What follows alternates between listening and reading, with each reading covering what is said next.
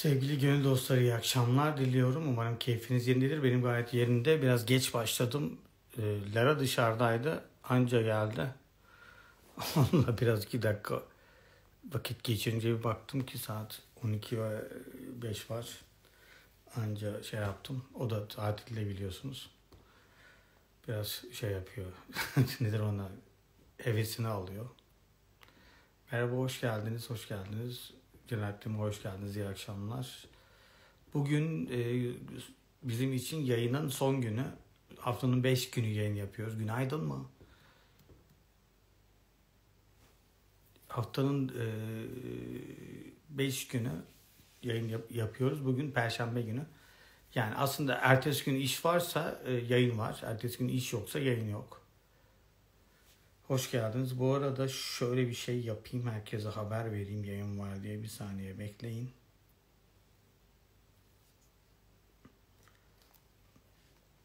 Bugün iyileşme alırız. Bir şeyler yaparız. ben çok da hazırlığı seven biri değilim. Ama bu ara yeniden pazartesi e, bu birkaç hafta mı ara verdik? E, özel yayın yapıyorduk. Onlara yeniden başlayacağım pazartesi. 22.30'da özel yayın olacak. E, unutmayın 22.30'da özel yayınlar ve pazartesi her akşam. Yani hep sadece pazartesi.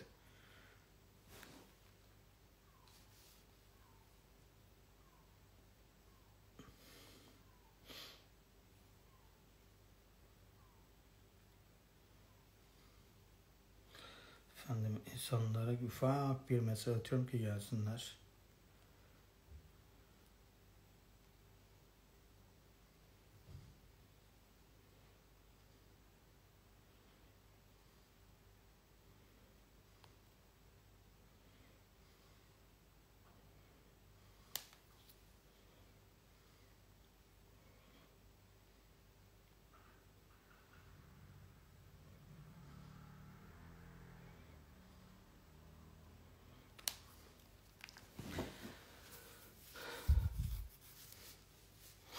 Efendim zaten bilenler de cevap veriyor. Şimdi bakın. Yeni çok yeni insan da var. Yani çok farklı farklı seviyelerde. 8-9 senedir yayını yayın değil de beni takip eden. Şimdi 5,5 senedir falan yayın var belki de. Evet 5,5 seneyi geçmiştir. Çok uzun zamandır konuyu çok iyi bilen mesela Esin Toklu çok uzun zamandır ee, bizim o an kitabımız satışa çıkmış efendim yeni kitabım geliyor. O an kitabım eski yani bir önceki yani geçen Nisan'da çıkan kitap. Yeni bir kitap değil ama çok önemli bir kitap bilginiz olsun.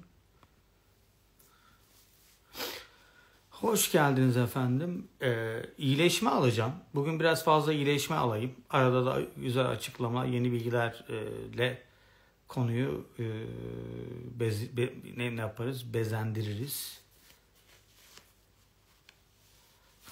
Bir dakika. Benim de var. Görme merkezime çok yakın bir yer. Çocuğumda doğduğunda şeker düşmesinden görme merkezi hasarında nasıl bir çalışma yaparım? Benim aslında çocuğuma geçmiş olabilir mi? Lütfen cevap. Güven Çarkan.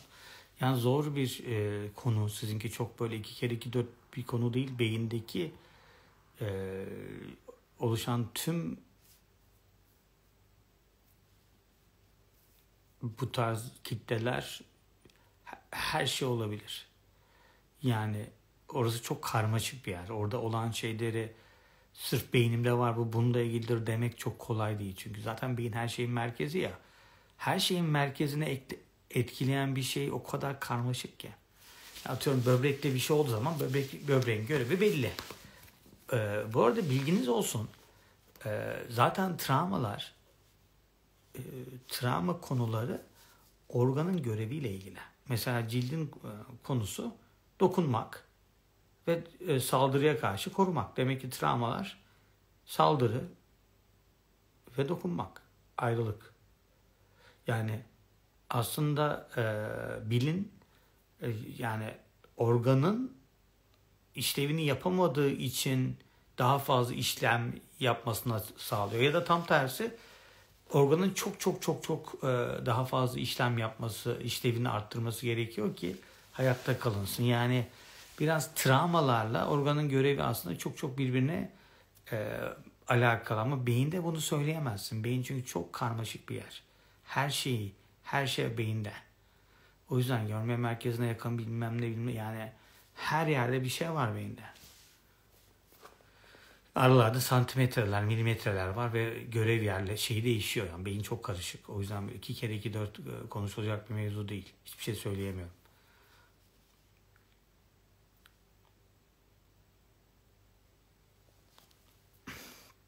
Suda boğulma korkusu, yılan korkusu, köpek korkusu, öğretmen korkusu. Nefes alamıyorum. Çoğu zaman doktora gittim. Efendim Havvay Varol 07. Sizin işiniz kolay. Ee, ekiple çalışmanızı öneririm. Çünkü e, suda boğulma korkusu diyorsunuz. Zaten nefessizlik e, travmanız var. Belki suda boğuldunuz ya da boğazınıza bir şey kaçtı. E, panik atak benzeri bir durumunuz muhtemelen. Kapalı bir yere girmekle de sıkıntı yaşıyor olabilirsiniz. Ee, yani köpek korkusu zaten köpekle çözülecek bir şey. Diğerleri de yani dünyanın en zor şeyi değil. Alana müdahale, alana müdahale zaten kitapta olan bir şey. Bir örnek derken yani kişiye olan yani kitapta çok açık açık yazılmış. Bayağı bir saatten bir sayfadan fazla yani. Odanızı odanıza bir yabancının gelip kalmaya başlaması ve senin çok sinir olman. Uf yeter nereden çıktı bu demen bile olabilir. Ya kardeşinin olması da alana müdahale yani. Alana müdahale birçok şey. Birçok travma alana müdahale olarak beyinde beyinde bir şey başlatabilir. Çünkü alana müdahale çok genel bir kavram aslında. Evlenememenin travması nedir Barış? siz, siz benden büyük müsünüz acaba? Bana Barış diye hitap ettiğinize göre muhtemelen öyledir. Nefes alamama alana müdahale de olabilir evet. Nef mesela kuru öksürük alana müdahale olabilir. Windows 7 gelmiş efendim. Es favori karakterim Windows 7. Dün hatta onun üzerine şey demiştim.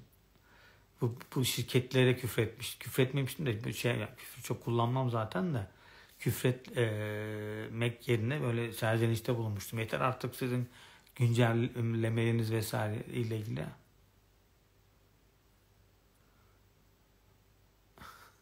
Gülçinciğim iyi misin?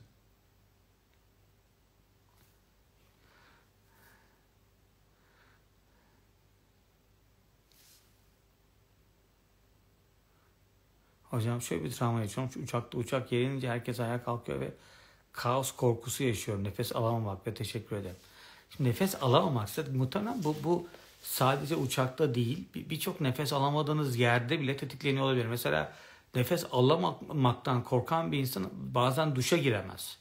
Kafasından su geçmesini istemez nefes alamayacağını hissettiği için. Deniz suya giremez. E, metroya giremez. Asansöre giremez.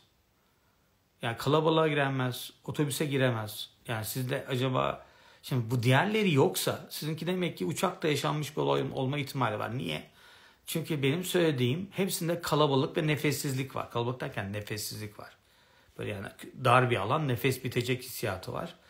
Eğer sadece uçakta bunu yaşıyorsanız demek ki bu olay daha çok uçakta yaşanmış spesifik bir olay.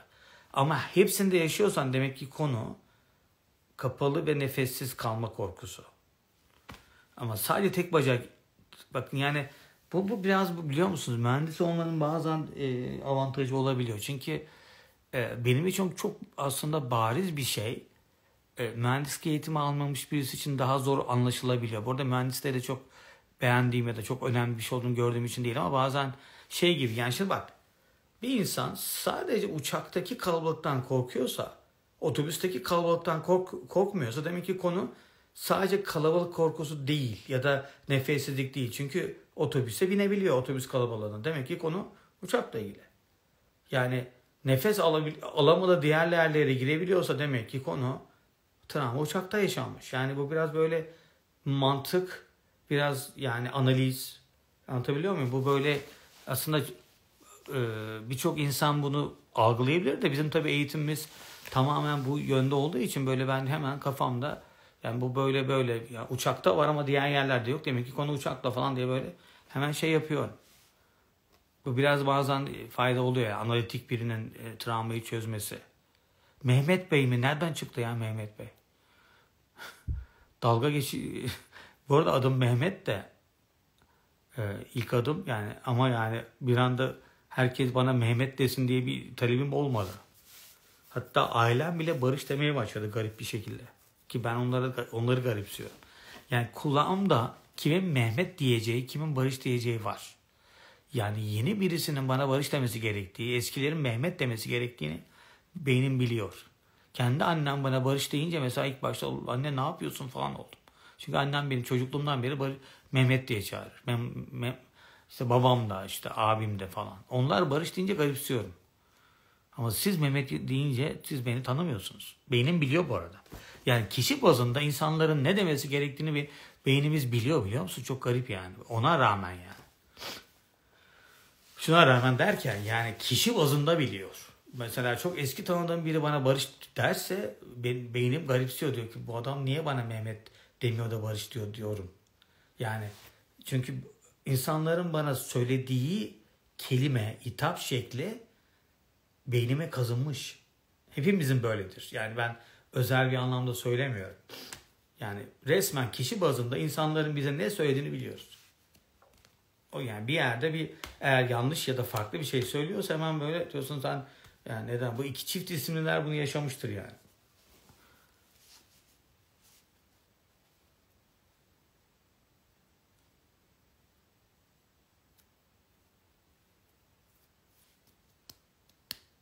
Böbrek kistinin birçok travması olabilir. Ee, şimdi böbrek kisti yani her organın farklı farklı bölümleri var. Böbrek kistinin de travma yapabilecek, daha da travma diyorum, kist yapabilecek böyle gördüğüm kadarıyla dört tane bölgesi var. Birincisi normal böbreğin ana bölümü. Oradaki e, kistlerin sebebi e, ayrılık, kayıp, terk edilme, yalnız bırakılma, böyle taşınma falan gibi böyle böyle olaylar. İkinci tarz e, olabilecekler sıvı travması olabilir. Bunun ihtimali düşüyor. Böbrek üstü bezleri de olabilir. Böbrek üstü bezlerinin travması birisinde kaybolmak, diğerinde ise çok stresli herhangi bir şey. Ya bunların hepsi farklı bölümlerin travma konusu. Kalp kap, e, kapakçığı açıklığı falan böyle bariz bir travma söyleyemem. O çok karmaşık böyle ya da çok e, denk geldiğimiz bir konu. Dikkat eksikliği, hiperaktivite bozukluğu, kadınlar e, kadınların hamileliğinden yani hamilelik travması olarak çocuğa geçebilir. E, annenin yaşadığı birçok travma çocukta bu böyle bir etki yaratabilir. Mesela ayrılık travması. Çünkü dikkat eksikliğinin travması genelde ayrılık ya da e, kendinin dikkatini başka bir yere vermek istemek. Hamilelikte bunların ikisi de yaşanmış olabilir. Hiperaktivite bozukluğunun travması hamilelikte eee bu arada bu kayıp korkusu da çocuğunu kaybetme. Bak şöyle söyleyeyim.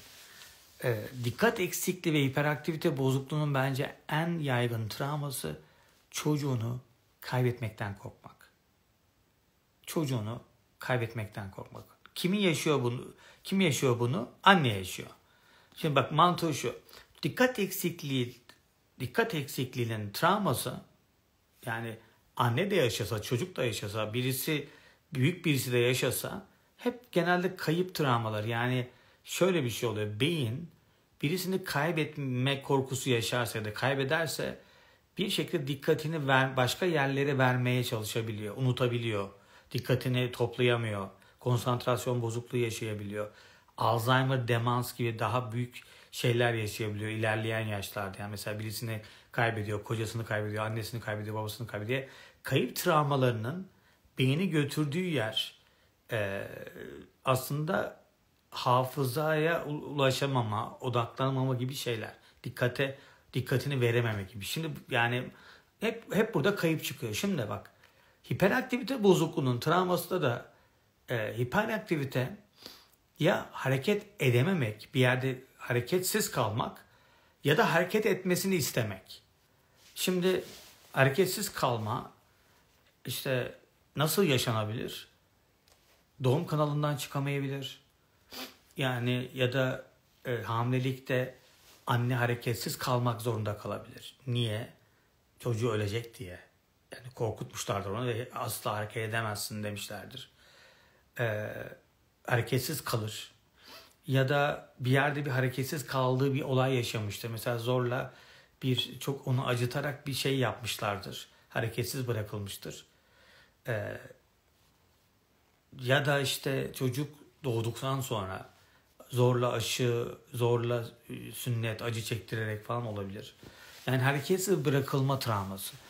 Ama hareketsiz bırakılma kadar bazen hareket et, hadi hareket et travması da olabiliyor. Yani e, annenin çocuğum ölecek, ölür mü acaba diye korkup kayıp kayıptan korkması hem kayıp travması yaşatabilir hem de çocuğum hareket etsin, bir an önce hareket etsin diye bir şekilde emir veriyor olması farkına varmadan yani şey anlamında çocuğunun kay- e, vefat etmesinden korktuğu için sürekli aklında hareket ediyor mu, hareket ediyor mu, aman hareket et, aman e, hareket ettiğini bana hissettir. Yani aman e, yaşıyor olsun, hareketli olsun. Yani bak ha iyi yaşıyor falan diye.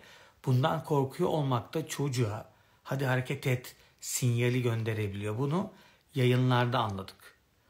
E, bir iyileşmeden sonra birçok örneğini gördük.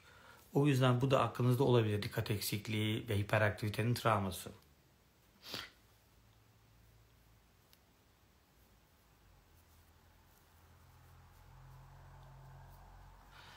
Polistemia vera e, çok bildiğim bir şey değil. Yani bakmam lazım neyle ilgili diye ezbere bildiğim bir konu değil. Hashimoto, Hashimoto ve birçok rahatsızlık, e, tiroid rahatsızlığının ana travması kayb, e, isteyip alamama yani elde edememe ya da e, istemediğim bir şeyden kurtulamama olabiliyor. Bu çok uzun bir konu kitaplarda var. Ee, yani bu bir yiyecek de olabilir. Ee, genelde istenilen şey yiyeceği alamama, aşerme gibi şeyler çıkabiliyor. Sigarayı zorla bırakma bile olabilir. Yani birisi sana zorla sigara bıraktırıyor. Sen de zorla içmek istiyorsun. O kadar çok canın çekiyor ki. Ağzın diyor ki e, bir şey ulaşamıyoruz. Tehlike var. Sonra eğer bu ağızdaki bölgeyi tetiklerse af çıkabilir. Ee, ağız yaraları çıkabilir, bir şeyler çıkabilir. Ya da mesela bademcikleri de e, tiroidi de tetikleyebilir. E, yani ağız bölgesiyle ilgili bir durum bu çünkü. E, kurtulamama söz de olabilir. Yani sö- söylenmesi gereken bir şeyler de olabilir. Ya da e, böyle bir yani tükürülmesi gereken bir durum olabilir. Kurtulunması gereken bir iş, bir yani gereksiz bir görev, istenmeyen bir insan hatta istenilmeyen bir yani ne diyeyim bir hastalık ya da uzun süre devam eden bir bir sorun ya da uzun süre devam edildiği hissedilen bir hamilelik veya da doğum doğum yani öyle bir doğum sürüyor ki bitmiyor o kişi bir, bir türlü çıkaramıyor çocuğu. Yani çocuktan kurtulmak istediği değil. Yani bir tür çocuğu dışarı çıkartamadığı için tiroidleri yüklene, yüklenebiliyor. Çok uzun bir konu. Yani birçok örnek veriyor oldum. Bu arada çok şey yapmayın. Bugün çok çok çok çok uzun yayın yapmayabilirim. Ee, iyileşme rica edeceğim. Dün çok fazla iyileşme vardı. Yani her gün var ama dün de böyle birçok insan yazmıştı. Dün e, birkaç tane çok güzel iyileşme aldım. E, MS gelişmesi, iyileşmesi aldım. MS'teki olay da e, neydi? MS'deki olay hanımefendinin yaşadığı kötü olay çocuğunda çıkmıştı falan. Af çok güzeldi. Af'la ilgili iyileşmeyi yakında yayınlarım. Ee, söyleyemediği bir olayla ilgili 2013'te yaşadığı olay 2015-16'da Af'ta başlamıştı falan. Yüksek kolesterolün birçok ihtimali var. Birinci ihtimal kalp travması olan şeyler. Bunlar kalp travması genelde alanla ilgili savaş. Yani alanla ilgili savaş kadın erkekler için yine alanına müdahale gibi ama çok sert bir olay bu. İşte eve haciz geldi bir yerlerde bir şey böyle büyük bir hiyerarşik bir savaş var. Onun savaşı yapılıyor. Hiyerarşik bir savaş var. Kim daha güçlü? Kim burayı alanı koruyacak gibi bir e, e, bir durum. Zaten kalp krizinin de en bariz travması bu e, er, kadınlarda ise cinsel kimlikle ilgili en güzel kim yani kocamı elimde tutacağım ben işte bu, bu evin sahibi benim işte ben kadınım falan gibi şeyler olabilir. Biraz cinsel kimlikle ilgili travmalar. Yüksek kolesterol sadece kalpten yani kalp damarlarıyla ilgili olmayabilir. Her türlü damar tamiri de olabileceği için damar tamirinin travmaları e, hep değersizlik ve suçluluk başarısızlık olabilir. Full devam eden depresyonsa ve major depresyonsa travma muhtemelen cinsel utanma çıkar. Alerjik faranjitte genelde travma yani e, yutmak istememe yani bir şey sindirmek istemediğin, çok öfkelendiğin bir şey, kurtulmak istediğin bir şey, çok yani kızdığın bir şey genelde. Ee, bak faranjitle ilgili böyle birkaç tane daha kelime kullanmışlığım da vardır bakalım. Kitapta var zaten biliyorsunuz. Yutmak istememe. Söyle, söyleme isteği aynen söyledikler, söylediklerimmiş başka bir şey yok. Infertilite infertilite e, genelde bir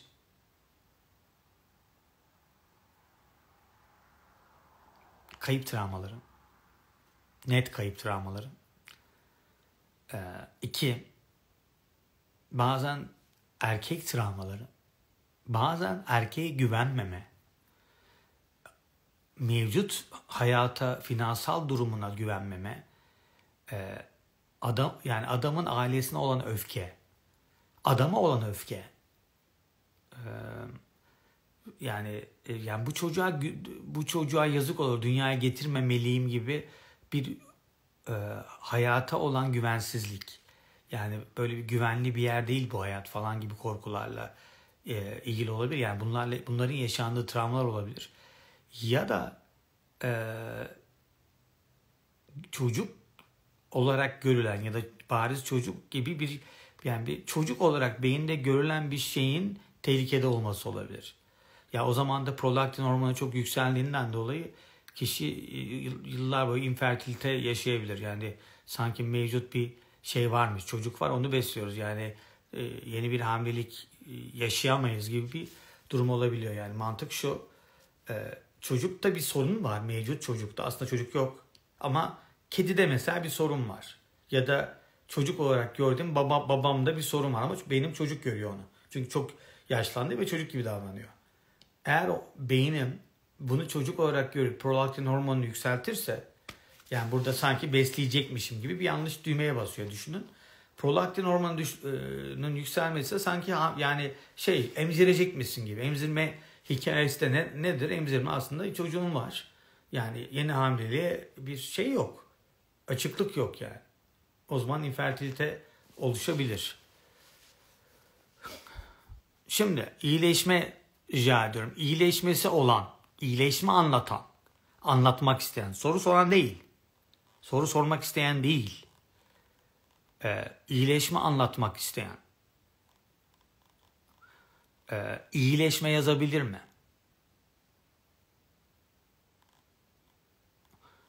Dışarı tek çıkma korkusu bu arada e, muhtemelen bayılma korkusudur. Bayılma travması olabilir.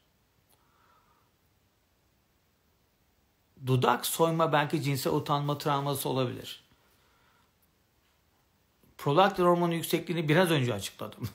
biraz önce açıkladım. Kanserin travması her şey olabilir. Çünkü kanser tek bir hastalık değildir.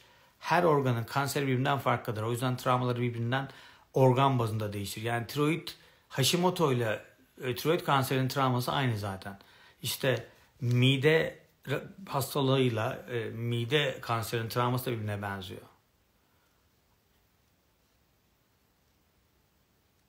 Rahim hastalıklarında travma bir kadının kadının kendini değersiz cinsel olarak eksik hissetmesiyle yaşadığı travmalar ve bazen de o kadının e, çocuğuyla ilgili e, yaşadığı ya da üretkenliğiyle ilgili yaşadığı travmalar da olabilir kas erimesinin travması, kas erimesi e, bacakların yine değersizliği. Yani bacaklardaki romatizmayla bacaklardaki kasın erimesi mesela travması aynı. Birebir aynı.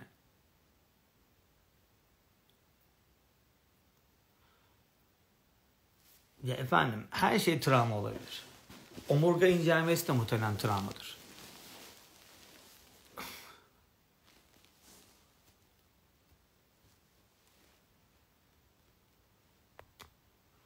Efendim iyileşme bekliyorum.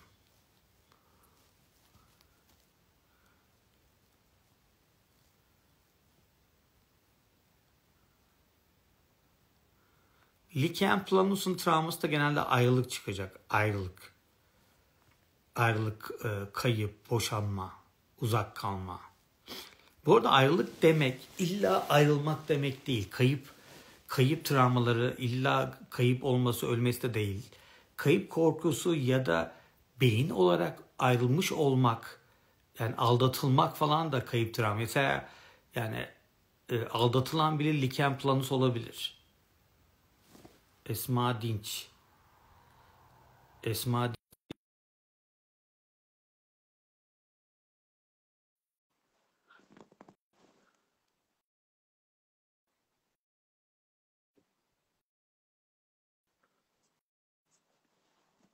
Şu ateşli havali Esma Dınç. Esma Dinç tekrar dinliyorum sizi.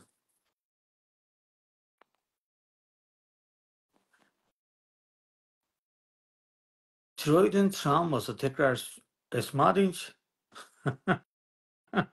İyileşmeni de var yoksa yanlış mı anladım? İki defa reddedildim. Reddedilme travması yaşatıyorsunuz bana. E, e, efendim yazın da boş boşuna uğraşmayın. Ateşli havale. Ateşli havale e, bir travma kaynaklı da olma ihtimali var. E, yani, yani muhtemelen travma yani yaşanılan olayının Elvan Recep Mente size alacağım. Troid iyileşmesiymiş. E, ateşli havale e, şey olabilir yani bakın e, bir şey da bir yerde ateş varsa normale dönüş süreci olduğu anlamına geliyor. Elvan Hanım.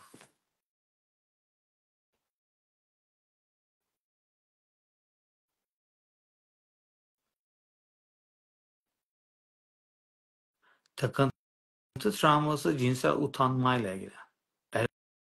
Elvan Hanım orada mısınız?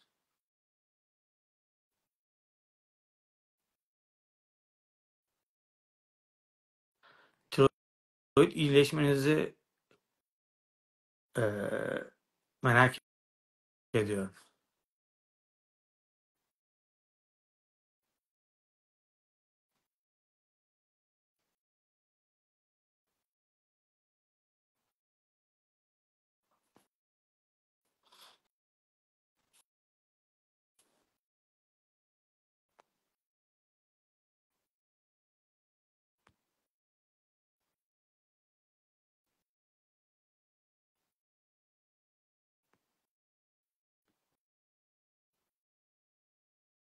Tekrar olmadı galiba ya.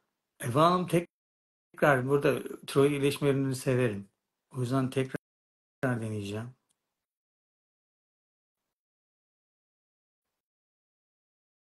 Troy iyileşmesi yaşadım diyor.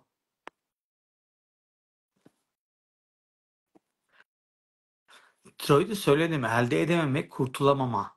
Elde... Ha, tamam. O İyi akşamlar. Merhabalar hocam. İyi akşamlar İyi Elva Hanım. akşamlar. Nereden katılıyorsunuz? Ee, Muğla'dan katılıyorum. Vallahi güzel yerden katılıyorsunuz. Hepimizin sonunda gelmek istediği yer. Hoş geldin. Teşekkür ederim. Ee, Tanıştığıma memnun ben oldum de sizi öyle. tanıdığıma. Geçmiş olsun. Tiroid Teşekkür iyileşmem ederim. var dediniz. Ne oldu? Evet. Ben e, üç tane e, çocuğum var. 14 yaşında, 10 yaşında ve 7 yaşında olmak üzere. 10 yaşındaki oğlumu doğurduğum zaman ben rahatsızlık başladı. E, ilk önce adet kanamam kesilmedi. Çok rahatsızdım. Annem dedi ki 40 gün dedi kanaman gelir dedi. Hani bu normaldir. Annemle birlikte kalıyordum. An çünkü babamı kaybetmiştim yıllar önce. Anneme de bakmakla hükümlü olduğum için yanıma almıştım. Dedim bu böyle olmaz ama 40 günü geçti hala da kanamam geliyor. En son kansızlıktan hastaneye yatırılacak duruma kadar gelmişti. Dedi ki doktor senin dedi adet kanaman hani doğumla alakalı değil. Tiroid bezlerin iltihaplanmış artık görevini yapamıyor. Etrox diye bir ilaç verdi 50'lik. İlk önce 25'lik verdi sonra 50'lik. 25'lik böyle ara ara değişimlerle ben 10 senedir bu ilacı kullanıyordum. Sonra sizi tanıyana kadar o kadar heyecanlıyım ki kusura Vallahi bakmayın. çok iyi gidiyorsunuz. Hiç hiç böyle gözükmüyor. Çok da güzel yansıyor enerjiniz. İşte Yani şey almayın. Teşekkür ederim. Bu arada çok mutlu Sonra oldum. Annenize sahip çıkmanız falan dedim ne güzel. Yani iyi, iyi şey olarak. evet. Dediniz ya o benim görevim falan diye. Yani ne güzel. Keşke herkes bu kadar görev görebilse yani e, büyüklere Evet. e, sahip çıkmayı. Buyurun. İyi ki de sizi tanımışım diyorum. Karşıma çıktınız. Yani birisinin tavsiyesi üzerine değil. Rastgele internette takılırken, YouTube'da falan takılırken e, Mehmet Ali Bulut'u e, izlerken hani böyle alta kaydırırken onun takip ettikleri sıralarda Deniz Erten'in takip ettiği listeye baktım gözüme ilişti. Dedim bir dinleyeyim. Dinledikten sonra ilgimi o kadar çekti ki devam ettim. Kitaplarınızı aldım derken kitaplarınız çok ilgimi çekti. Videolarınız falan.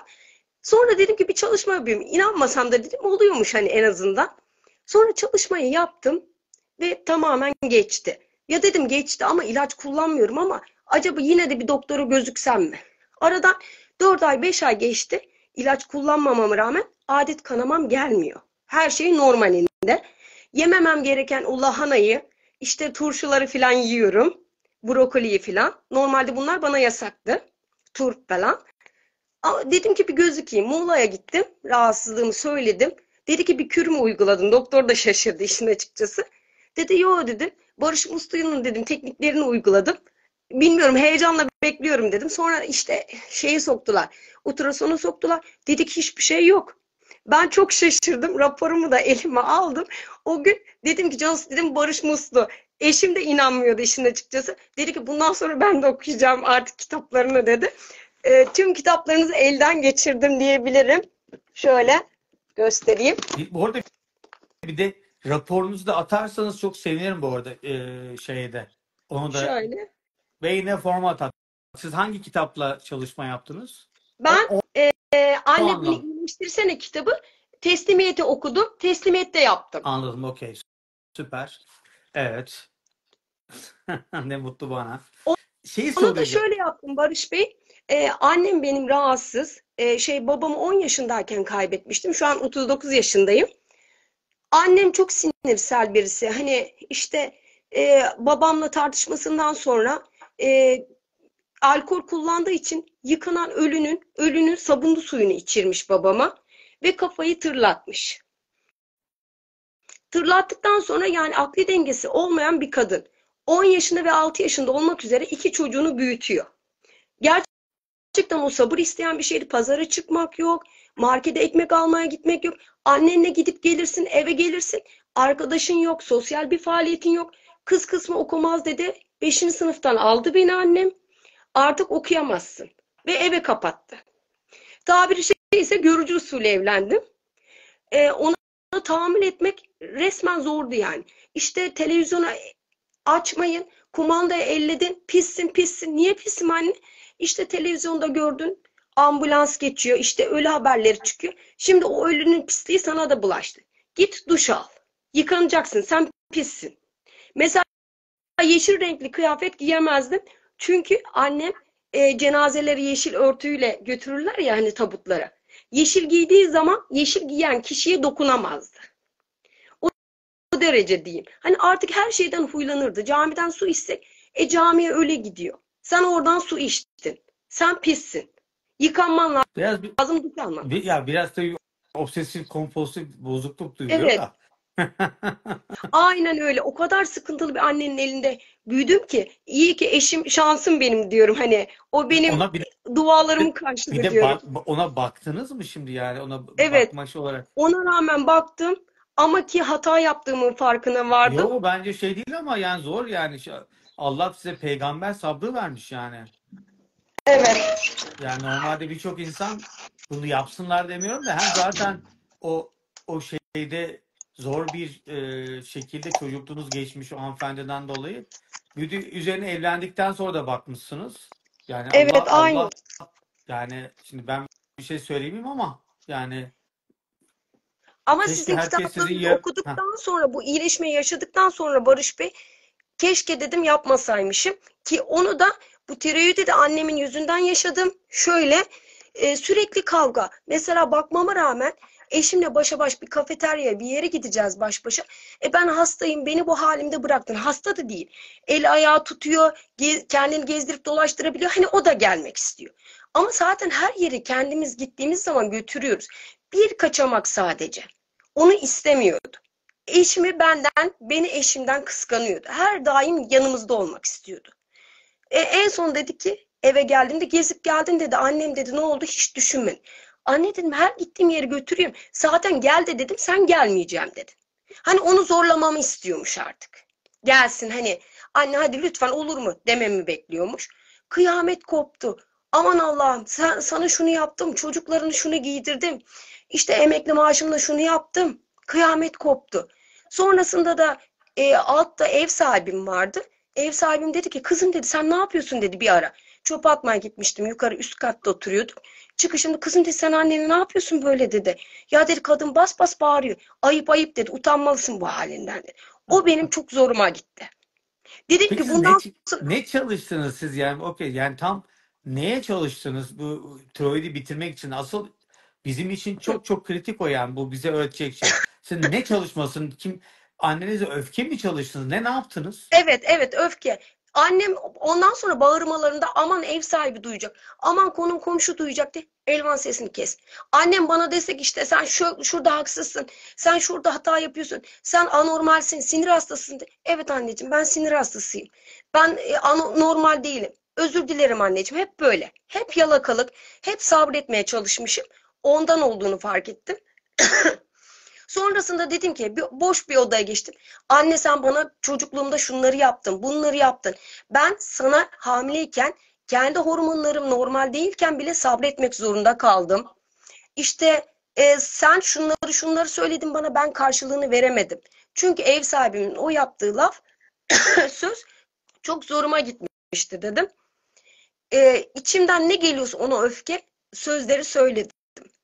Sonrasında da tamamen geçti. Söyle- Söylediniz de ne ağladınız mı ne yaptınız ne kadar sürdü bu? Ağladım. Bayağı ağladım. İşte sen beni hak etmiyordun. Sen beni dünyaya getirdin ama eziyet etmek için getirmişsin. İşte millete rezil etmek için getirmişsin. İşte ev sahibinin o söylediği söz çok aklıma takılmıştı. O söz aslında bana ait değildi. Bu problem sorunu çıkartan sendin. Ben değildim ama her şeyini sabretmek zorunda kaldım. Bunları bunları söyleyememiştim. Ama artık rahatça söylüyorum. Bunun gibi. Aslında Biraz özel de konu. anladım tamam. Çok ağladınız mı? Evet. Zaten, Bayağı ağladım. okey. Zaten hikayesinin aslında anladığım kadarıyla sizin işte sizin konuyu söyle- söyleyememek, çıkaramamak diyorum ya. Aynen, aynen söyleyememekti. Tamamen geçti. Şükürler olsun artık kullanmıyorum. Ee, bir ikinci iyileşmem de var ama iyileşme sayılır mı onu bilmiyorum. Buyurun söyleyin. Ee, benim kansızlığım vardı. 7 oranlarında falan geziyordu. Her zaman işte hastaneye gitmen gerekiyor. işte kan yemen lazım. Hatta çocuğumu bile anaokulunda bırakıp eve gelmişim. Dedim çocuk yok nerede? Ya dedim okulda unuttum ya dedim. Geri döndüm aldım. Tuvaletin içine girmiş fırçalarla oynuyor. Dedim ki hocam nerede? İşte tuvalete girdi bir çocuk ama dedi. Gittim aldım. Allah'ım dedim aklımı yitireceğim ya dedim. Çocuğu unutuyorum. Şurada şu hatayı yapıyorum. Neden böyle? B12 eksik. Sürekli kansızlık. Anemin var mı dediler. Yok dedim. Ama aşırı bir kansızlığım ve B12 eksikliğim vardı. Bir de et, protein tüketmeme rağmen. Sonrasında aklıma geldi. Birkaç çalışma yaptım değersizlikle alakalı. Yok onlar işlemedi. Olmadı. Ee, şey babam 17 yaşındayken adam öldürmüş. Ee, öldürdüğü zaman da dibine gidip bir, bir el daha silah atmış. Ve eskiden cepken derlerdi. Cebinde böyle kahve paketi dağılmış. Kurşunla öldürdüğü zaman. Atla geliyormuş adam. Yaylı evi bu. Sonrasında o kahve paketi gözünün önünden gitmemiş. Babam hiç kahve içmemiş. O aklıma geldi. Çay ve kahve hiç içemezdim ben. Dedim onu çalışma yaptım. İşte vekaleten oluyor dediniz ya. İşte ben öldürmek istemedim. Yapmak istemedim. İşte annem beni teşvik etti. Ee, o yüzden maruz kaldım. Yaptım. İşte bunun cezasını çektim ama vicdanen e, onun hesabını veremedim. Hapis yattım çıktım ama cezamı ödemedim. Ödeyemedim. Çocuklarıma aktarıldı gibi. Kendim de aynı şekilde babamın suçunu aslında bizler çekmemeliydik. Ama işte babamın babamla olan irtibatı set çekiyorum. Bunun gibi çalışmalar yaparak kansızlık düzeyim artık normale döndü. Günlük 2 ka 2 fincan kahve pardon. Çayımı artık içebiliyorum rahatlıkla. Enteresan Yani bu arada babanız kaç sene hapis yatmış? Meraktan 2 soruyorum. 2 2 yıl. 12 yaşında olduğu için değil mi? Yok 17 yaşındayken öldürmüş. Yaşın tutar demişler. 19 yaşında da çıkmış. Anladım, anladım. Peki, peki ne an, e, ba- babaanne ne, ne diye böyle bir şey yapmış? Yani Ya babaannemlerin 300 tane keçisi varmış. Ee, hep diğer e, arazisi olan kişinin ürününe zarar veriyormuş. Adam söylemesine rağmen. Sonrasında da bir daha ikaz etmiş adam. Tekrar keçileri babaannemlerin o araziye girmiş. Sonra adam da güya babaannemin deyişine göre ama yalan ama doğru. İşte babanı öldürüp de babam ben olacağım demiş. İşte sonra bu laf çok ağır. Yenilir yutulur laf değil. Al şu tüfeği vur oğlum demişler. Ve babama yüklemişler. Babam da gidip öldürüp cezaevine teslim olmuş kendisi. al oğul vardı diye. Bu arada burada Muğla değil mi burası? Evet evet. Biz Aydın Çineliyiz aslen ama Muğla'da oturuyoruz. Tamam anladım. Ay. Yani hayır bu tam böyle e, şey var. Al oğul işte evimizin namus. Aynen Var, aynen. var ya böyle ya bilmem ne yani daha çok biraz Güneydoğu dizisinin konusu olur ama biraz si- sizin Aydın Çine'ye biraz şey geldi. Ama neyse yani enteresan baya acıların şeyiymişsiniz ya siz e, Aynen. Daha çözmem gereken o kadar şey var ki az önce sizi dinledim. Hemen not aldım. Dedim bu bundan olabilir. Kızımın biraz dikkat dağınıklığı var. Ay hamileyken şunu yaşamıştım ben. Evet. Hareket etmiyor diye çok endişe etmiştim. Hemen onu yazdım, not aldım mesela. bu, bu arada ya şey ya enteresan bu arada bu, şu anki öksürüğünüz yayından sonra mı başladı? Ee, yok biraz gripim şu Ha. aralar. Aslında daha önce tek gönderdim. Maalesef olmadı. Bugüne denk geldi. Yok yok hayır ben acaba dedim ki tamam iyi. Buna sevindim sizin adınıza çünkü dedim acaba anlattığınız konuda mı öksürüyorsunuz? Ondan, ondan emin olamadım. Yok yok değil. Şu ara gripim sadece. Malum ortalığın rahatsızlığı. Tamam. Okey. O zaman sizi çok yormayalım Elvan Hanım. Çok çok Teşekkür teşekkür ederim. ediyorum. Eksik olmayın. Her zaman bekleriz. Görmedim daha önce almamışım ama her zaman alırız ne demek. Çok Teşekkür ederim çok çok yayın sevgiler bu arada için. doğallığınız ve yani çok zor bir hayat yaşamışsınız. Geçmiş olsun inşallah daha güzel bir hayat sizi bekliyor olur. Lütfen İnşallah, bir inşallah. bizim bizimle kalın o travmaları tabii ki birer birer çözün ki yani yaşınız çok genç zaten. Ee, Şimdi şeye rağmen. tüm arkadaşlarıma sizi tavsiye ediyorum. Diyorum ki Barış Muslu sayesinde şu hastalığım iyi oldu. İşte kansızlığım biraz daha normale döndü. Bunun gibi. İ- İnşallah onlar da gelirler. İyiler, iyiler aramızda olur. İnşallah. Çok sevgiler, iyi geceler diliyorum. Hoşça kalın. Görüşmek Görüşmek üzere. üzere. İyi. Kendinize iyi bakın. Sizler de. Bu arada wow. Yani al oğul. Siz ailemizin şeyini kurtar hikayesi gibi hikaye. Vallahi nasıl bir hayat yaşamış ya sevgili Elga- Elvan Hanım. Yani birçoğunuz herhalde şükretmişsinizdir yani ailenize. Evet film gibi hayattı yani. Sosyal fobi cinsel utanma travması. Cinsellikle ilgili utanılan mahrem olaylar. Bilginiz olsun. Süt alerjisi e, oluş şekline göre süt içerken kişinin bir travma yaşaması. Evet yani çok iyi niyetli bir hanımefendiydi zaten. Leziz tarifleri yayına alıyorum.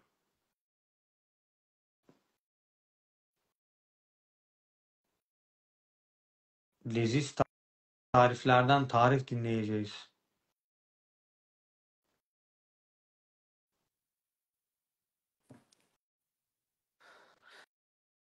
Saçlar uzamaması ayrılık olabilir.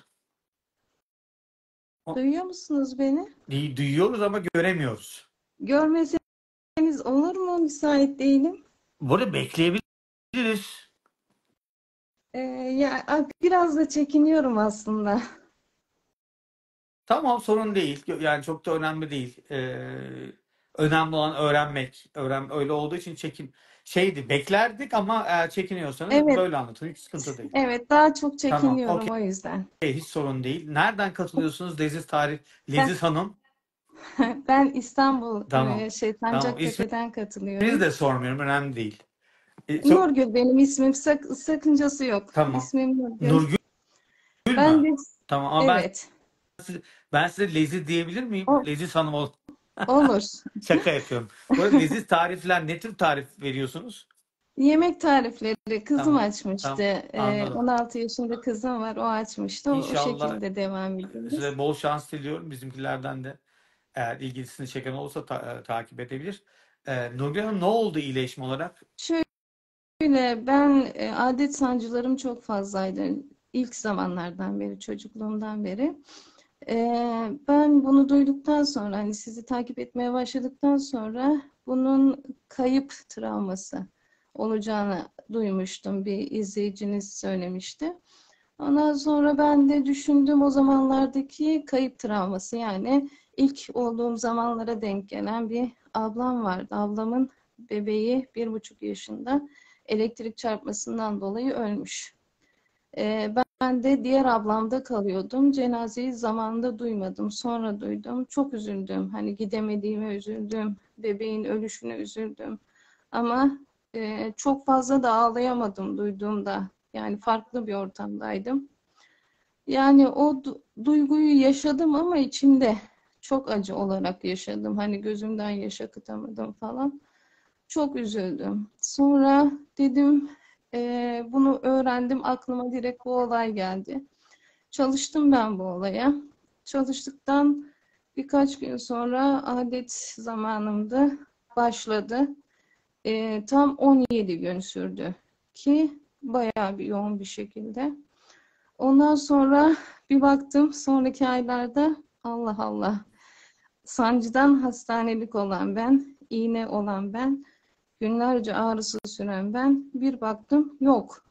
Kızım diyor anne sen iyisin. Hani ağrın yok. Bugün yok, yarın yok, öbür gün yok. Yani bunu atlattım. Sonra duydum eee, başka bir Bir iyileşmede saniye bek- aslında bekleyin. Bir saniye bekleyin. Siz eee, ço- zamanlamayı öğreneyim. Bu evet çalışmayı ne zaman yaptınız? Ben çalışmayı 7-8 ay oldu. Aslında çekindiğim Hiç sorun için da katılamadım. sorun değil. Zaten şu anda şöyle oldu. Daha da eee nedir ona? Sağlamış, sağlamasını yapmış olduk. Üzerinden zaman geçmiş. Siz aslında 2-3 gün sonra adet oldunuz ve 17 gün adet mi gördünüz? Evet, 17 gün bayağı yoğun bir Hiç böyle şekilde görmüş müydünüz? olmamıştı daha öncesinde. Yani hatta böyle uzun sürünce dedim ki herhalde bu Korktunuz iyileşme. mu? Yok korkmadım. İyileşme belirtisidir diye İyi, iyi düşündüm. bari. En azından e, takip ediyorsunuz ve şey e, ne ona e, farkına varmışsınız iyileşme olması. Ben de bazen böyle şeyler olunca hoşuma gidiyor. Yani bir çalışma yaptım geçen e, bir buçuk hafta önce. Ateşlendim aynı gün. Yani böyle bir anda hem de. Yarım saat sonra ateş geldi. Dedim iyi şeyler olacak herhalde ama henüz iyi şeyler olmadı. Olacak inşallah. Bu arada bazen psikolojisi yani illa bir tane hastalığın geçmeyebiliyor tabii. Yani o e, bir ateş bastığı zaman bir şey olduğu zaman da yani ama psikolojik olarak bir anda mesela şey oluyorsun yani bir anda bir şeyin açılıyor. Yani beynin resmen açılıyor. İlla fiziksel net bir şey hissetmeyebilirsin. Okey. Sonra siz 7-8 aydan beri de hiçbir şekilde e, Evet. adetiniz e, acı ağrılı gelmedi. Siz nasıl da adetiniz nasıldı daha önceden? Ya ağrım o kadar çok oluyordu ki ben defalarca hastaneye gittim, defalarca tahlillerimi, tetkiklerimi yaptırıyorum. Doktor bana diyor ki rahminde bu ağrıya sebep olan hiçbir neden yok. Yani biz sana ağrı için ilaç başlarız ama senin yaşında e, genç olduğu için o ilacı da başlamak istemiyoruz.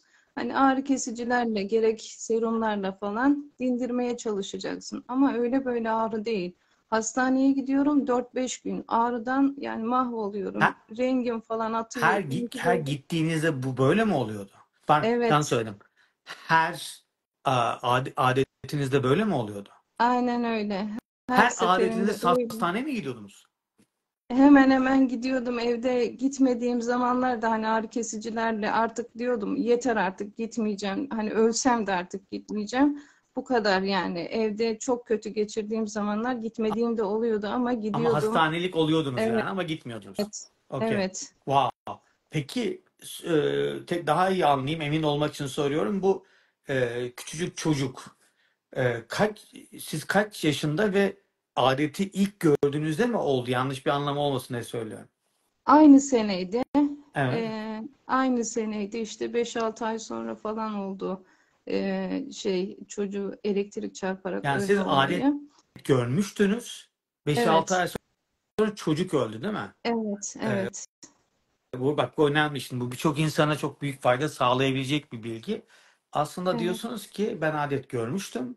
Evet. Ee, yaşınız kaçtı? 12 On- yaşındaydım. 12 yaşındaydınız ve 5-6 ay sonra çocuk öldü. Evet. İlk adetleriniz çok ağrılı değildi o zaman. İlk zaman değildi. Evet. Sonra Yani e, baş bu olayda olmaya peki şunu şunu sorayım son olarak. Ee, çocuk çocuk öldüğünü öğrendiği zaman adet var mıydı yoksa adetli değil miydiniz? Öyle hatırlıyor Ee, musunuz? onu çok hatırlamıyorum. Yani tam olarak hatırlamıyorum ama yani ilk zamanına gidin dediniz ya Aha. ben de düşündüm o zamandaki kayıp travması neydi? Kayıp neydi? Kimdi? Aklıma geldi. Ee, ondan sonra ona çalıştım, ona yoğunlaştım. Öyle. Çok güzel. Bu arada yani bu e, hepimize yeni bilgi oldu. Süper. Bir tane anlatıyordunuz. Onu da ben kestim daha fazla öğrenelim diye. Buyurun. Hı. Ee, diğeri de aslında çok e, siz dediniz ya hani travmalara e, defalarca çalışın üstünden geçin geçin neyin neye yaradığını bilmeden ben aklıma travma olarak gelebilecek bazı şeylere çalıştım. Benim burnum çok tıkanıyordu. Hatta bir keresinde tamamen tıkandı. E, tıkanıklıktan artık nefes alamıyorum. Ağzımı açarak nefes almaya başladım. Yani burnumdan hiç nefes girmiyor. Ondan sonra hastaneye gittim, ilaç verdiler, ilaç kullanıyorum. Hiçbir şey açmıyor. Nane yağı kullanıyordum, o açıyordu normalde, o da açmıyor. O kadar çok tıkanıyordum yani. Hatta doktor ameliyat dedi. Babamın e, hastalık dönemine denk gelmişti. Babam hastanede yatıyordu. Ameliyatı da erteledim, olamadıydım. Sonra babamın hastalığı da işte beş buçuk ay sürünce o da rahmetli Başınız oldu. Ondan sağ sonra olsun. da sağ olun, Allah razı olsun. Sonra da e, dedim işte şey zamanı geldi bu pandemi zamanında gelince ameliyat hepten yok oldu ortadan. Sonra e, çalıştım bir şeyler artık tam olarak ne neye iyi geldi bilmiyorum ama benim burnum yanmaya başladı. Böyle sanki her tarafta toz var o benim burnumu yakıyor. O kadar burnum yanıyor. Sonra e, günlerce burnum yandı yandı. Sonra bir baktım ben nefesimi rahat alıyorum. Hiç burnum tıkanmıyor. Allah Allah dedim. Bir şey iyi geldi. Yani hangi travma çözdü bunu bilmiyorum ama bu da çözüldü Allah'a şükür. Rahat nefes alabiliyorum artık. Bu, bu arada bu Buna da bu, süper. evet. Bu bir ufak bir şey yapayım. e, hatırlatma. İnsanlar bazen olayı plasebo zannediyorlar. Yani inandığımız için iyileşiyoruz gibi, gibi zannediyorlar. İnancın da çok önemli olduğunu söylüyorlar. Bana göre inanç yani iyileşeceğine inanmak sadece sebat etmek için gerekiyor. Yani çünkü bir insan inanmadan devam etmez ya da olayı ciddiye almaz vesaire.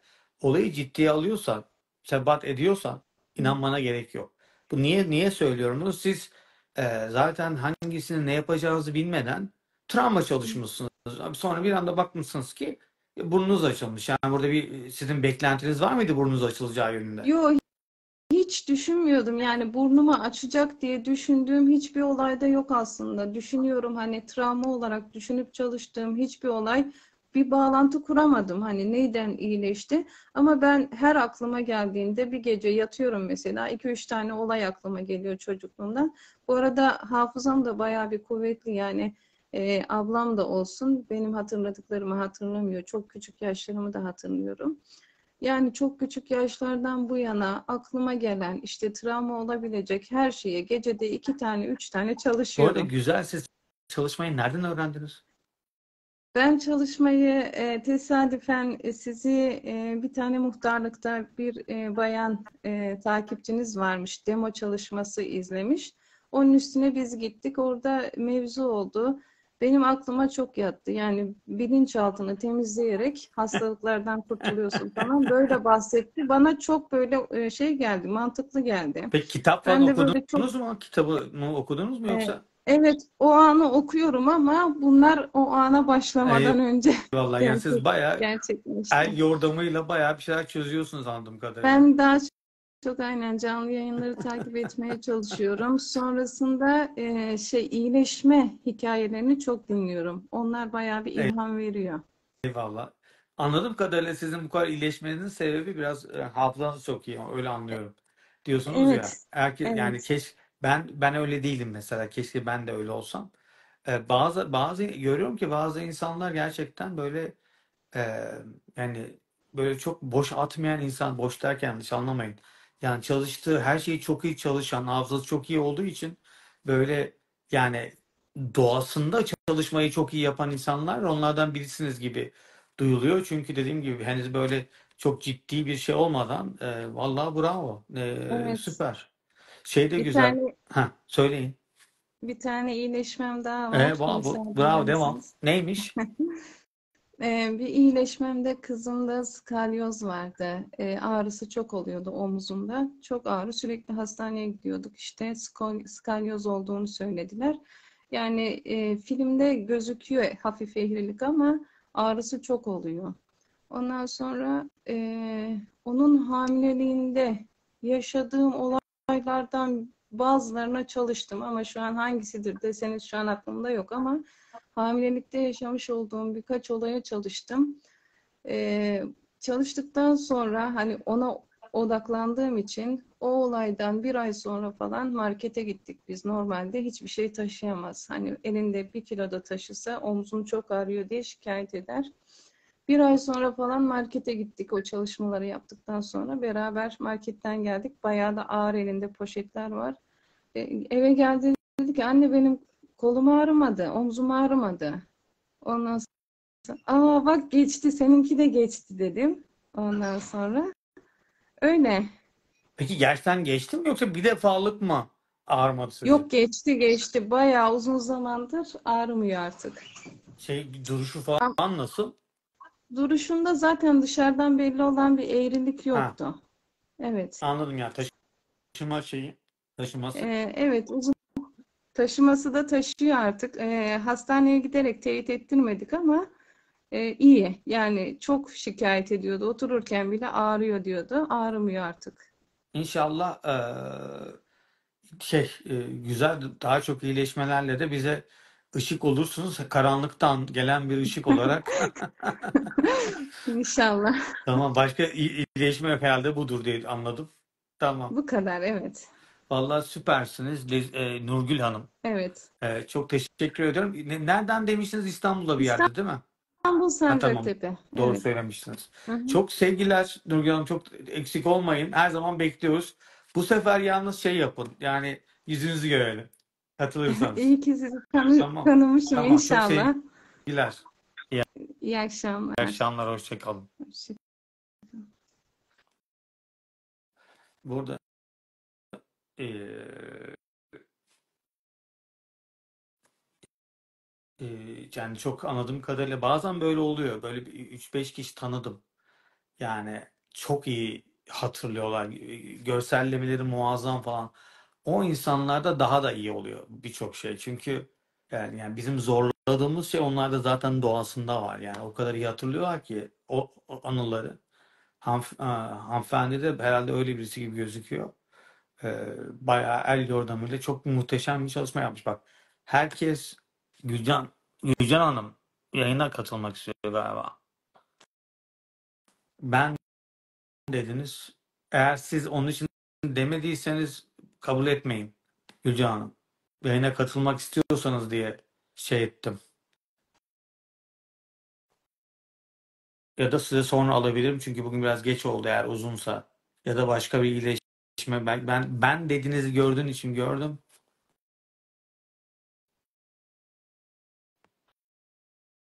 Ya da şu Yüce Hanım'ı tanırız, severiz. Bursa seminerine katılmıştı. Galiba Çanakkale'den mi gel, Balıkesir'den mi gelmişti? Gofret'in dudusu size alıyorum bir yandan. Ben niye diyorsunuz? Ha ben derken şey dedi. Şeyin çok iyi dedi anladım. Hocam bir saniye. Hiç sorun değil. Ama ben sizi göremiyorum. Ben nasıl nasıl oldu biliyor musunuz? Ödeştik şimdi. Ben de biraz Sağ önceki ben de biraz önceki hanımı göremiyordum. Ya daha ilk, ilk, ilk denememde hemen çıktım ama ben sizi göremiyorum. Ya bu Çok bazen istiyordum oluyor. Ee, ama şöyle söyleyeyim. Ee, ama Zeki Müren bizi görüyor merak etmeyin. Evet. Nasılsınız hocam? İyiyim sizler nasılsınız? İsminiz nedir bu arada? Tuğba ismim. Ben Samsun'dan katılıyorum geldin. hocam. Deniz Evet. Tuğba Hanım. Bu arada bakacağım Evet, şeye de. Arada Ee, bu bir arada- yayına katılanlar beni göremiyorlar. Ee, ol- olabiliyor. Yani bu böyle Instagram e, bilin ki e, şey var ikimiz de varız yani yayında. Biliyorum Sadece siz ama görmüyor. öyle oluyor. Ben e, canlı yayınlarınızı izliyorum sizin. Bu arada defter tutmuştum. Ben sizi şu tarihte tanıdım. Tersten 29 Mart 2021. evet e, tersten okumaya çalışıyoruz ama vallahi bravo. Sizden sizde sizden bayağı umutluyum. Yani birçok iyileşmeniz vardı. Bu arada gaza getirmeyeyim, zorlamayayım da çok iyileşmeniz mi var? Ee, hocam şimdi benim e, iki tane boyun fıtığım vardı ve ameliyatlıktı. Bu- Sonra işte Sizden bir ricam, çok küçük bir ricam var. Kendinizi ortalar mısınız? Böylece şöyle. biraz böyle sola çektiniz de rot balansınız bozuktu. Tamam şu an daha iyi. Sonra e, işte hocam ben tabii ameliyat olmak istemiyorum. O arada in- Instagram'da gezerken siz sayfama düştünüz. İşte nedir ne değildir diye e, baktım. Bu arada çok heyecanlıyım. Sizi ayrıca çok seviyorum. Eksik olmayın. Ben de sizi hep görüyordum bu arada. Yani bir gofret gofret dolaşıyor sürekli gördüm. Ya, ya- yazıyorsunuz değil mi arada bir böyle bir şeyler ortaya? Genelde yorum yapıyorum. Tamam o yüzden ben gofretin dudusu diye görüyordum. Ee, Haberlerinizi paylaşıyorum. Bütün videolarınızı 2021'de baştan sona izledim. Ee, kitaplarınızı aldım bu arada. Diğer diğer ikisi de arkadaşlardan. eyvallah. Ondan sonra işte neyse sizi buldum. Ee, bu vuruşları falan öğrendim oradan. Bir tane gönderiniz vardı. Sonra kendi kendime işte çalışma yaptım. Amatörde. 5 dakikalık bir çalışma. Gözümü kapattığımda annem geldi gözümün önüne ve e, adaletsizlik duygusundan dolayı çalışmayı yaptım hocam. Sonra e, böyle bir üşüme geldi bana. Tabii ağlıyorum bu arada. İki saat sonra balkona çıktım ben. Boynumu hiç çeviremiyorum yalnız. Boynum hafiflemiş kuş gibi. Yani o an yaşadığım mutluluk inanılmazdı. Hatta mutluluktan ağladım böyle. Wow.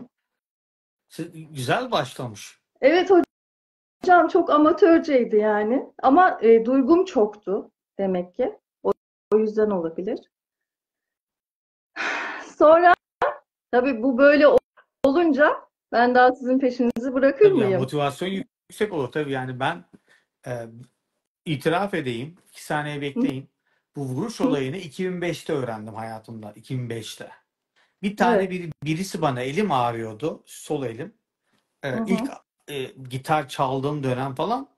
E, yani uzun bir konu oraya girmeyeyim ama sonra bana bana birisi böyle bir böyle bir vuruştan bahsetti işte falan filan. E, bütün gece uğraştım. Sadece vurduğum yerler kızardı. Hı hı. Tamam mı?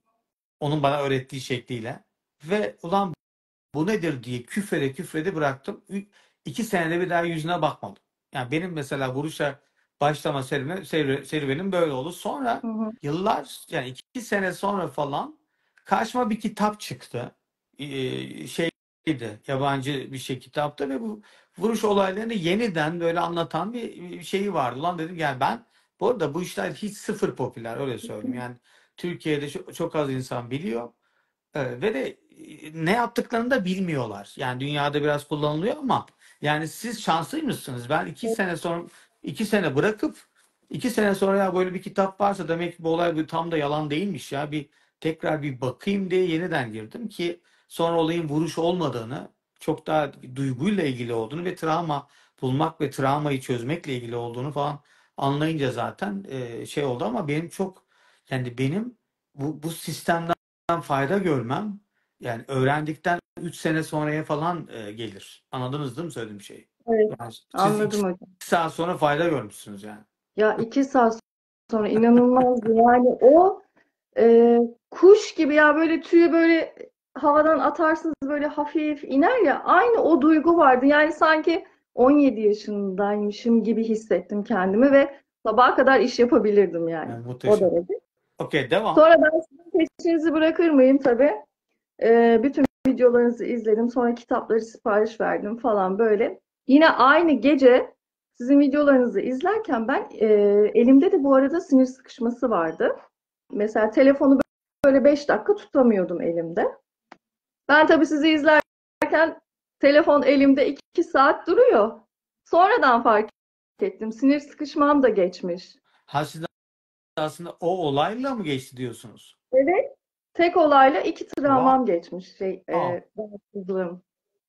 Sizde herhalde yani öyle bir duygu şey oluyor ki çok bu, bu da yani şey fazla too good to be true diye bir şey vardır bilir misiniz? Yani olamayacak kadar iyi gibi geliyor. İngilizce'de öyle bir şey var. Olamayacak kadar güzel. Yani hayır Evet. ama yani ola- olmaz demiyorum. Yani o kadar güzel ki zor. Yani ne kadar güzel anlam söylüyorum. Devam. İnanılmazdı hocam. Yani sizin e, mucizesiniz yani. Çok Benim çok iyi için bir başlamışsınız. mucizesiniz. Yani Evet. eksik olmayın. Çok başka ne ne ne gibi ne mucizeler oldu o zaman? İnşallah. Başka işte kızım benim 8 yaşında e, bir tane korku filmi izlemiş. O tırnaklarını yiyordu çocukluğundan beri. Şu an 14 yaşında. Onun işte e, o travmasına çalıştık. O da geçti. Şu an tırnaklarını yemiyor. O var. Korku film E, korku filmi izliyormuş ha. evet korku filmi. O bir yandan korkmuş. O korku filmini tekrar açtık. Çalışmayı yaptık. Ondan sonra geçti. Süper. En doğrusu bir şey direkt tetiklediniz vesaire. Hangi korku Aynen. filmiymiş? Lara izletmeyin. Deniz hangi korku filmiydi o? Annabelle. Annabelle hocam. Annabelle diye korku filmi yok mu yoksa çizgi film Evet. gibi bir şey mi? Yok yok bayağı bildiğiniz film böyle oyuncak bebek var. Korkunç Evet. böyle gözleri falan saçları örgülü. Vitrine koyuyorlar. Ya ben, ben o- ya yalan olmasın. Ben bu korku filmi izleyen insanlara böyle bir korkuyla bakıyorum. Yani bunlar nasıl insanlar diye bakıyorum ya. Yani aslında benim de haberim yoktu. Çocuk anneannesindeyken mahalledeki bir arkadaşıyla işte ablasıyla izlemişler. Ablasına öyle bir etki etmedi ama bunda işte dediğiniz gibi beyin farklı çalıştığı için herkesin herkese ben şey dedim ya cinsel utanma travmasında tamam yani 18 yaşındaki o, şeyi görse etkilenmiyor ama 7 yaşındaki oluyor size OKB ya da bipolar ya da sosyal fobi vesaire. Başka? Başka arkadaşımın e, oğlunda şey vardı, astım vardı hocam. Onun travması da anne doğumdayken nefes alamıyorum, öleceğim hissi yaşamış. Onu da uykuda anlattı, çocuğun astımı geçti. Bir de e, başka bir akrabamızın küçük çocuğu var yine 4-5 yaşlarında. Şuraları kırmızı, böyle puturcuk puturcuk ve kaşınıyor. Annesi bunu e, e, hastaneye yatmış. İşte iki gün ayrı kalmışlar. Onda onu uykusunda konuşma yap demiştim. Onu yaptı. O da geçti. Şimdilik bu kadar. Eyvallah süpermiş. Siz ama böyle şey gibi e, çok çok pozitif çok e, nöronlar yani güzel bir enerjiniz var. Hocam E, şey ha ben söyle. sizin sayenizde böyle oldum. Yani Allah vesile etti bana sizi. Ben çok sinirli, çok öfkeli bir anneydim. Çocuklarına bağıran, kızan, yastık yere düşse bu yastık niye yerde, sandalye niye böyle, halı niye kaymış? Hep böyleydim ama sizden sonra resmen Vernellenmiş gibi oldum. Yumuşacık oldum yani. Karakterim değişti. Ben bu arada bunu, bunu söylerim bak bence en güzel en anlamlı iyileşme de bu oldu. Çünkü e, Evet, insanın karakteri değişiyor. evet. İnsanın karakteri sadece e, ne diyelim hani derler ya ben balığım şöyleyim ben şuyum böyleyim başağım ben şunu şöyle yaparım kova şudur budur falan tamam yani Ben de boğayım bu arada. nasıl boğa musunuz? Evet. Ben de boğayım biliyorsunuz. 28 E, Nisan, ben 21 e, Mayıs. tamam süper. Yani boğa yani boğa işte şunu sever bunu sever falan ama e, kendi içinde bütün boğalar da aynı değil sonuçta ya da zaten insanların bu arada ben astrolojiye saygım var eskiden yoktu. E, Evet. şimdi şimdi daha saygıyla bakıyorum. E, hiç yani 7-8 senedir falan böyle e, şey yapıyorum yani takdir ediyorum. E, ama insanların da karakterini o, e, o- nedir ona, oluşturan en önemli faktör yaşadığı büyük olaylar. Yani Aynen hocam. Siz de yani ben çok gördüm öyle. Ben ben de öyle muhtemelen çok daha ben de çok daha, daha şeyim ya. Yani e, Rahat. neden ona rahat, iyi, Hı hı. inatçı, e, aşırı inatçı değilim. Yani kötü anlamda. Yani Daha evet o da kırıldı sanki biraz benim aynen. böyle e, yok daha iyi bir insanım kesinlikle. Yani Ben de ruhum evet. iyileşti yani hocam. Yani Gerçekten. siz herhalde çok çalış çalışma yaptınız zaten değil da çok yapıyorum hocam. Şimdi cilt sıkmam var benim. Onu bir çözemedim. 2019'dan beri var. Bir de böyle kendimi sıkıyorum. Gece uyurken. Gündüz yok. Sadece gece uyurken. O çok Bak bakalım ne, ne, ne, ne olacak yani ama ne mutlu ki artık yani siz yaşınız da genç e, iyi bir hayat sizi bekliyor değil mi? Ne, yani Evet. evet ya bu, bu İnşallah. çok çok güzel ya çok mutlu oldum çok yani geceyi sizinle kapatmam çok da güzel oldu Ay, açıkçası. Çünkü böyle teşekkür şunu ederim yani şey ya. ayrı bak sağlık sorunları iyi ama Hı hı. yani ben sizin hayatınızın e, dönüm noktasının o çalışmaların olduğunu düşünüyorum. Çünkü siz o sinirlilikle zaten daha da büyük travmalar yaşardınız. Evet. Yaşadığınız her olay size daha büyük bir travma olarak geri dönerdi. Aynen. Rahatsızlıklar daha ortaya çıkardı. Çocuklarınıza travma yaşatırdınız, bilmem ne yapardınız. O ben orada bir Samsun'daki bir belirli bir bölgenin bence hayatına dokunmuşum. O yüzden onur duydum, gurur duydum kendi adıma. Eksik olmayın. Türkiye'deki, Türkiye'deki bu e, sizi bilen herkesin hayatına dokundunuz hocam. Çok çok Yani teşekkür ediyorum gerçekten. bana. Ben gerçekten e, yani duygulandım bunu söylemenize. Çünkü e, insan hani kendine daha fazla hep şey var, lafı vardır. Overrated, underrated. Her insan kendini biraz olduğundan fazla görmeye meyillidir ya. Yani evet, kendi adına. Bazen de böyle kendini olduğundan daha düşük görür falan ama genelde ki herkes belli, belli oranda kendini çok önemli görür. Ben de bazen diyorum ulan ya ne kadar insanın hayatına dokundum ben yani bunu asla beklemezdim deyip kendim olmaktan onur ve gurur duyuyorum böyle yürürken. ya Yani iyi ki Barış Musluyum. Yani iyi evet, ki benim diye yani iyi ki bu hayatı yaşamışım diye. Yani ölsem bana bir şey olsa umurumda olmaz modundayım. Yani şey yaşadığım hayat.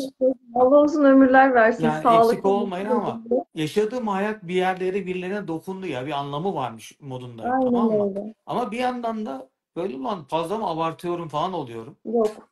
Tamam mı?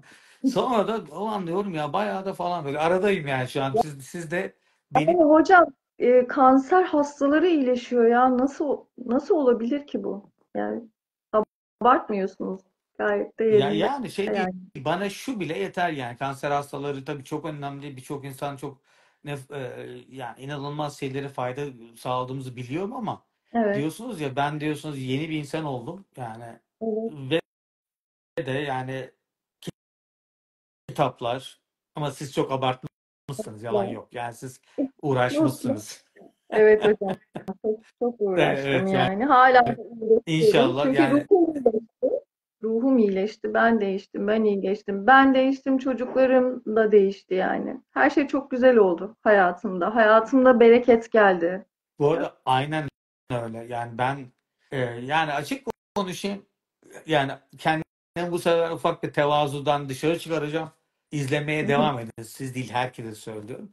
Biraz önce yani e, e, şimdi insanlar e, şimdi şöyle insanlar benim e, bazen biliyorsunuz psikolog olmadığım bilmem ne falan e, o konuyu açmayacağım ama Biliyorum, e, biliyorum. Yani uza, uzatmak adına söylemiyorum ama hayatlarında duymadığı analizleri hiçbir yerden okuyamayacakları analizleri bende okuyabilirler ya da duyabilirler.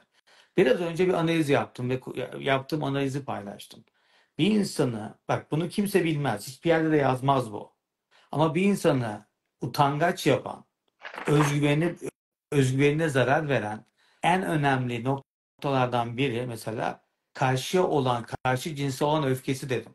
Yani bir insan karşı cinse öfkeliyse özgüveni e, azalır. Yani karşıyla konuşamamaya başlar. Öfke bile insanın yani mesela ben kadınlara öfkeliyim diyelim. Yani niye? Beni beğenmediler. İşte beni aldatan kadınlar oldu. Beni istemeyen, parayı seçen kadınlar oldu diyelim. Hı Yani hı. ben bu öfkeyle kadınlara özgüvenle yaklaşamam. Buna Ya insan öfkeli olduğun kişiye bile yaklaşmak istemezsin. Bunu zaten e, kaç kaç gün önce canlı yayın yapmıştınız hocam. Şey, e, konuşma yapmıştınız. Yani bu, bunu kimse yapmaz bu arada. Bak net olarak söyleyeyim. Yani bunu anlayan insan özgüvenin sadece e, yani kendi yani özgüven demeyelim. Özgüven tabii çok farklı bir şey ama daha böyle iyi iletişimin, daha böyle özgüvenli iletişimin sadece kendi travmaları ya da kendi yani basit rezil olmak, işte kendini sevmekle ilgili olmadığını biraz da karşıya olan o duygularının da e, daha böyle nötr ve daha iyi olmasıyla ilgili olduğunu daha iyi anlayabilir. Yani eğer sen ka- karşı cinse karşı kızgınsan onlarla hiçbir şey yapamazsın yani. Yani Aynen. Konuşmak. e, onlara merhaba diyemezsin, do, da, doğru düz konuşamazsın, Hı. E, içinden bile gelmez, istemez. muhabbet açamazsın, sıcak davranamazsın. E, öyle olmadı yani beynin sürekli bir error verir. Yani bunu anlayan bir insan ne yapar biliyor musunuz? Karşı cinste olan bütün önemli olaylara çalışır ve karşı cinsteki o insanları kişi bazında affeder. Ayşe'yi de, Ali, e, ne de ona, Hatice'yi de, Hı hı. Zeynep'i de, e, Nihan'ı da, kimse. Sonra beynindeki öfke azaldığı zaman sonra bakar ki aa ben artık Oya'yla da, işte Mira'yla da, o işte herkesle de çok rahat konuşabiliyorum. Niye? Artık Aynen. be- artık beynimin karşıyla ilgili olan öfkesi bitti. Aynen. Yani çok basit ama bunu yapmanın başka bir yolu yok. Bak bunu söylemezler. Yani bu konu şu değil. Ben olumlama yaptım, çok iyiyim diye konuşmuyorum. Ben karşı cinsle barıştım diye artık beynim çok rahat onlara. Çünkü onlar benim düşmanım değil. Bir insan düşmanla nasıl konuşur ki? Aynen. O olumlamalar zaten çok geçici yani. Belki hani kendini mutlu hissetmek için olabilir ama hocam sizin tekniğiniz tamamen olay yani. Vallahi eksik olmayın. Sevgili e, Gofret'in dudusu muydu diğer adınız? Değil mi? Evet Tamam. evet. Bir tane Tuğba Hanım. çocuğumuz var. Bir çocuğumuz var hocam de. O Onları, nedir? onları efendim O nedir? nasıl yani? Gofret'in dudusu nedir? Gofret iki tane kedimiz var. Birinin adı Gofret, bir tanesi Dudu. Ha. Dudusu diye öyle bir sayfa açmışlar E, kızlar. ta- eyvallah şimdi ben anlamamıştım ama. Hı hı. Size iyi geceler diliyorum. Gofret'in dudusu Tuğba Hanım. Sizi her zaman Çok hatırlayacağım. Çok teşekkür ederim hocam. Beni canlı yayına e, Ben aldığınız her için. zaman bekliyorum. İnşallah yeni e, iyileşmelerinizi sizi çok merak ediyor olacağız. Çok her zaman da sizi hatırlayacağım. Yani çok iyi hissettim sizinle konuşurken. Çok sağ olun. Ay, çok teşekkür ederim. Hayırlı geceler diliyorum İyi hocam. geceler Sağ diliyorum. olun. Çok sağ olun. Görüşürüz. Valla çok e, diyorum ya anlayana bilmem ne saz anlamayana bilmem ne az falan hikayesi. E, ama çok a- anlaşıldığıma mutlu oluyorum tabii ki. Sevgili gönül dostları e, bugün böyle ay yordamıyla çok iyileşenleri gördük. Güzel.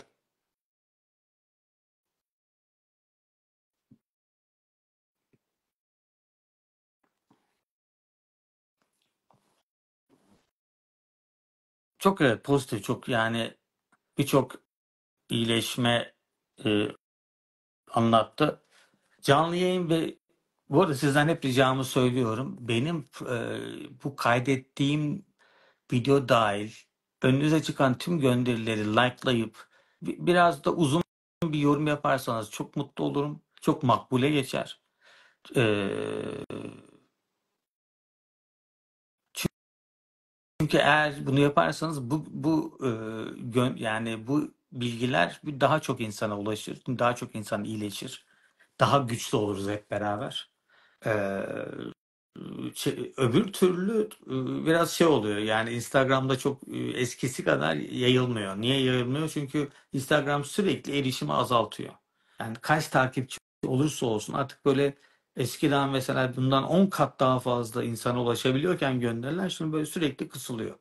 Instagram e, yani bu, bu olayı tabii ki e, sürekli kendi lehine çevirmeye çalışıyor. İşte sürekli insanları zorluyor vesaire vesaire. Sürekli kurallara değişiyor. O yüzden e, yani şey çok önemli. Like'lamanız ve e, yorum yapmanız. Böyle sadece kalp olmazsa biraz uzun yazarsanız daha da iyi olur. Çünkü böyle şeye bakıyor. Yani sadece kalp olduğu zaman insanlar tabii bunu şey diyor. Yani bunlar yalandan yazılmış falan diye. Neyse onun dışında ayrıca canlı yayın ve demolara da üye olursanız size ulaşabilirim. Böylece bazen ulaşamıyorum. Mesela demo var diyeceğim. İnsanlar ulaşamıyor. İşte özel bir gece var diyeceğiz. Ee, insanlara ulaşamıyorsun. Niye? Çünkü Instagram ulaştırmıyor. O yüzden e, canlı yayın ve demolar grubuna ulaşırsa herkes bu arada ka- kayıt olamıyor. Profilime giderseniz canlı yayın ve demolar diye bir grup var. Orada mesela önemli şeyleri sizde paylaşıyorum. Bu önemli, şuraya bakın burası önemli falan filan gibi. Burada özel demo gecelerini falan da paylaşıyor oluruz. Ayrıca e, seminerler yani bugün böyle seminere katılmayan ve çok iyi çalışan insanlarla e, şey yaptık, konuşmuş olduk. E, ama seminerler de böyle birçok insan için çok önemli, çok kritik. Birçok insan için seminersiz yapamıyor. Kitaplar da var ama e, seminer İzmir, Ankara, Kocaeli ve Samsun bu arada. E, e, ayrıca ekiple de travma bulma ve e, çalışmaları yapma konusunda online Fransızca, İngilizce ve Almanca da çalışabilirsiniz. Bunun dışında alttaki numaradan ve tüm profilimdeki e, numaralardan şu an tek bir numara var galiba. Bilgi alabilirsiniz arayarak ve WhatsApp ya da mesaj atarak vesaire. Evet, çok teşekkür ediyorum. Yayını kaydediyorum tabii. Kaydettikten sonra profilime gelip beğenip yorum yaparsanız çok mutlu olurum. Böylece çok daha fazla insana ulaşır. Ee, böyle. Ama ben 20 25 Mart Deniz Seminerinde hayatım değişti. Kilik kelime. Ne mutlu oldum. Yani e, sem- birçok insan seminerde e, çok uçuyor açık konuşayım. Bak teşekkür ederim. Denizli'ye gitmişiz 25 Mart Denizli Seminerinde. Hayatım değişti diyor. E, or- orada işte toplam 5 toplu demo bir tane e, tekli bir göz toplu bir çalışma gösteriyorum falan. Neyse şimdi bu kadar iyi geceler diliyorum. Gelecek pazar günü yayında görüşürüz. Pazartesi günü özel bir yayın olacak 22.30'da her gece e, her pazartesi gecesi 22.30'da. Diğer zaman genelde 23.30'da başlıyoruz. Ee, e, bunun dışında başka bir şey yok. Sevgili gönül dostları iyi geceler diliyorum. Kendinize iyi bakın. Bu arada her, her şehre gelemiyoruz ama siz bizim ekipte çalışabilirsiniz online olarak. Yani illa İstanbul'a gelmenize gerek yok. Online çalışmalar da en az ofise gelmek kadar fayda sağlıyor. Yani online olmasının bir şeyi yok. Yani e, videoyla aranıyorsunuz ve çok çok çok fayda sağlıyor. Tatlı rüyalar, mutlu uykular. Yayını yayını e, şey yapıyorum, kaydediyorum. Siz de profilden bir şeyler yazarsanız, en azından biraz bir şey yazarsanız daha fazla insana ulaş- ulaşır. İyi geceler, e, tatlı rüyalar. Sizleri kalplerinizden ve ruhlarınızdan öpüyorum. İyi geceler.